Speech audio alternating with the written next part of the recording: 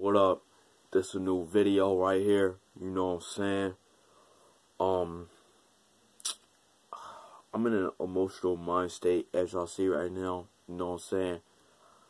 Um, I'm fucking so fucking upset right now that I just heard about this shit.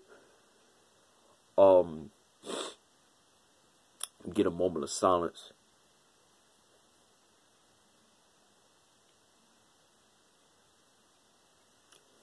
Alright.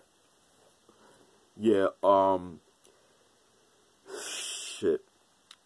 I was not expecting to hear about this on social media just now. Some of y'all guys might not heard about this, but I want to say rest in peace to Craig Mack.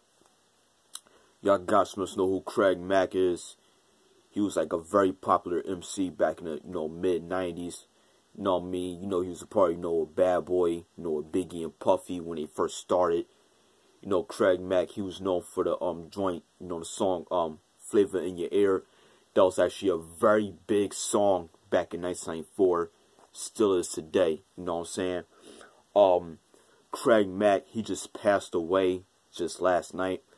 Um, how I found out about Craig Mack passing away. I was on Instagram. Uh, I was on my trending and shit. Like, somebody that I follow posted a picture saying that Craig Mack passes away. When I found out, I was like, what the fuck? Like, get the fuck out of here. Like, I thought this shit was fake. Come to find out that it's true, man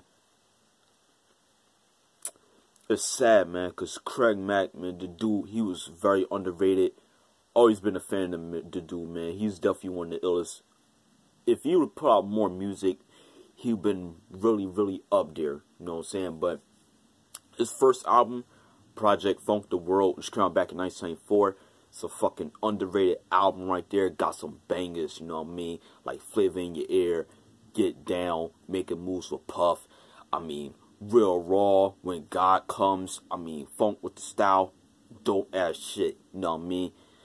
But that album kind of got overshadowed by Biggie's Ready to Die. Because, you know, those two albums came out around the same month and the same time. And those like the first two albums to be released on Bad Boy Records.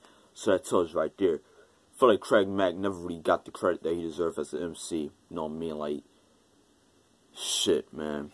It's fucking sad to hear, man, because this dude, he was very dope, you know what I mean? Wow. So I like to say, rest in peace to Craig Mack.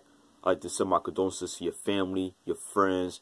I like to send my condolences to your boy Easy Mo Bee, who worked with you on the first album, you know what I mean? Like, it's heartbreaking right now, you know what I mean? Like, fucking, I'm trying to sleep hearing about this shit in those at night too, man. This is crazy, man.